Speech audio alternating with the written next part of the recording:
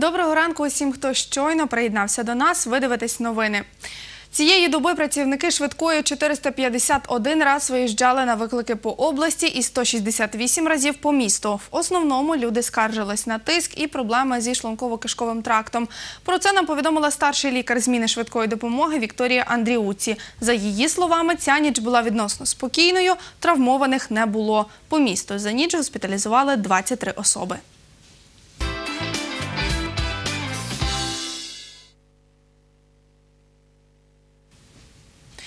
Сьогодні у Шумську відкриють другий в області інклюзивний центр. Про це нам повідомила начальник обласного управління освіти і науки Ольга Хома. У ньому облаштують спеціальні кімнати для розвитку та діагностики дітей, кабінет фізкультури і кімнату соціальної адаптації.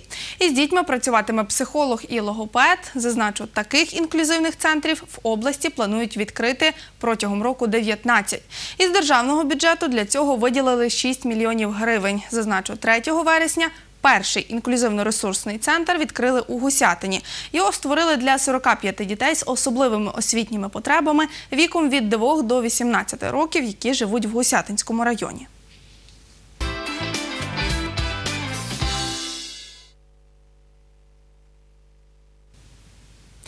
І тим часом у селі Жовнівка Бережанського району створюють дитячий будинок сімейного типу. На Бережанщині він наразі єдиний. Сім'я Данилюк уже заселилась у новий будинок. Там побувала наша кореспондентка Соломія Струс.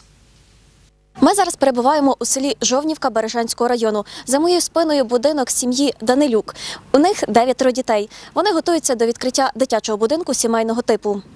У сім'ї Данилюк дев'ятеро дітей, четверо рідних і п'ятеро прийомних. Наймолодший Іванко, йому три роки. Після його всиновлення сім'я отримала змогу створити дитячий будинок сімейного типу. 10 років ми вже як прийомна сім'я. Прийшов такий момент, що ну, ми вирішили брати ще дітей, але вже не було куди. І тут якраз е, ну, на, на будинок сімейного типу ми вже давно написали заяву. І ми чекали е, цього моменту, коли це станеться. Вже підшукували будинки, писали там е, ну, в різні ці інстанції, в е, благодійні фонди, щоб е, нам виділили якісь кошти чи ну, зробили добру справу. Але тут якраз вийшов, вийшла постанова про субвенцію. І так вийшло, що випало на нашу сім'ю, випала ця можливість створити будинок сімейного типу.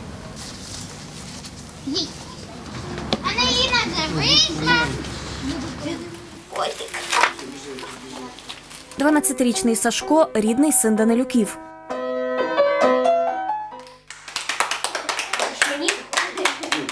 Мені живеться тут добре.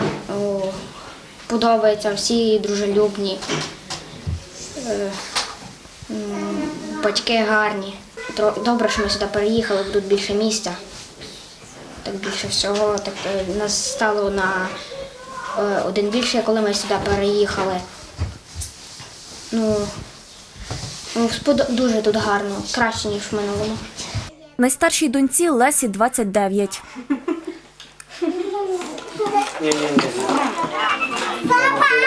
Олі зараз 11. Її всиновили у два роки. Мені дуже тут подобається. Весела сім'я, дружня. Багато друзів маю в школі. Багато тут друзів. Ну там на тій хаті були друзі, але ми переїхали сюди.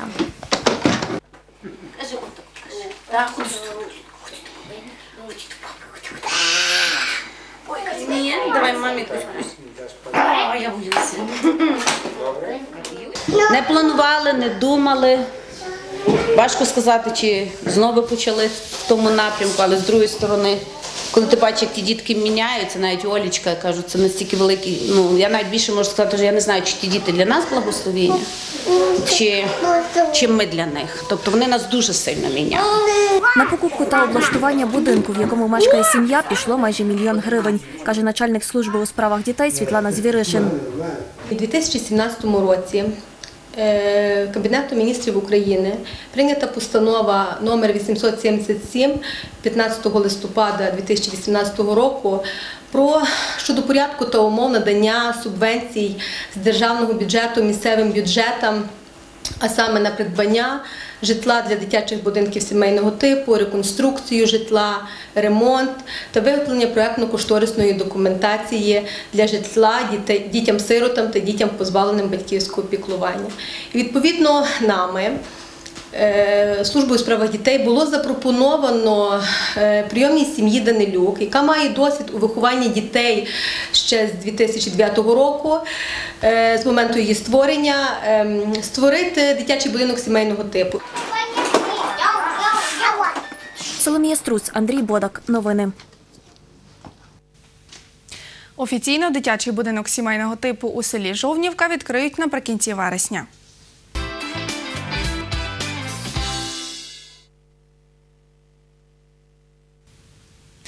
Сьогодні вночі у селі Майдан Гусятинського району сталася пожежа у житловому будинку. Вогонь знищив речі домашнього вжитку і меблі. У селі Ілавче Теребовлянського району спалахнула кухня у приватному помешканні. Там пошкоджено стіни і гарнітур. Жертв у пожежах немає. Вогонь рятувальники ліквідували. Про це нам повідомив черговий оператор обласного управління з цивільного захисту населення Володимир Фаріончук. Також, за його словами, за добу працівники пожежно-рятувальної служби виявили артилерійський снаряд часів Другої світової війни у селі Августівка Козівського району. Наразі його знешкодили. І у селі Оліїв Зборівського району знайшли дві міни. Їх передали працівникам піротехнічної групи і сьогодні впродовж дня вибухівки знешкодять.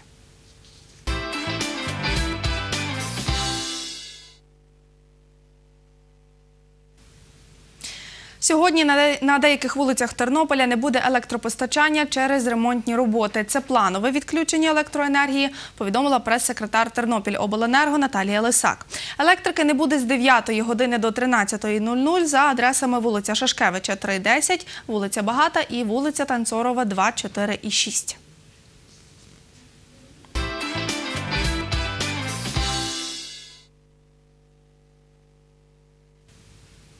І сьогодні у Березолі першокласники шкіл масиву Дружба переглядатимуть виставу Пригоди у великому місті. Її підготували педагоги та вихованці Тернопільського центру творчості дітей і юнацтва. Директор цього центру Світлана Миханчук розповіла, що в організації заходу були задіяні понад 80 учасників.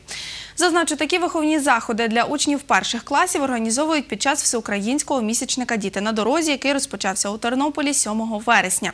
Тоді виставу про правила дорожнього руху переглядали першокласники шкіл центральної частини міста. А вчора її переглянули першокласники шкіл масиву Сонячний і Східний.